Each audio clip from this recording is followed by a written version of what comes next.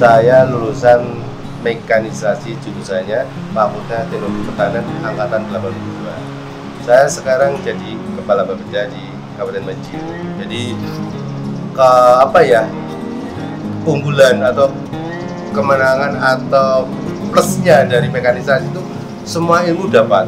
Jadi anda misalnya bekerja di pemerintahan itu semua sudah dapat dari masalah pertanian, masalah lahan, masalah mesin, masalah uh, bangunan itu ada ya.